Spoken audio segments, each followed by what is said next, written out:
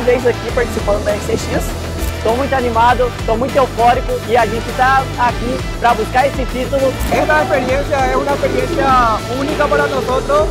Eu estou maravilhado, trabalhei bastante, mas consegui ver algumas lutas e é, que ambiente bom, que estrutura boa, tá? Momentos decisivos, então só podemos esperar fogo, fumaça e destruição dentro dessa arena.